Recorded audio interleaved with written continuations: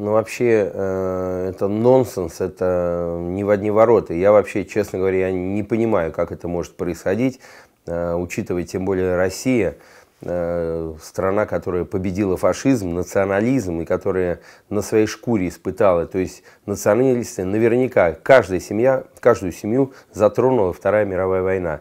И это очень беспокоит. И, то есть это внуки э, тех людей, которые воевали за родину. Внуки, они одевают э, свастику и идут э, э со своими лозунгами э, оперировать то, чему их учат. Это, безусловно, не от, э, хороших, не от хорошей головы, это от бескультурия.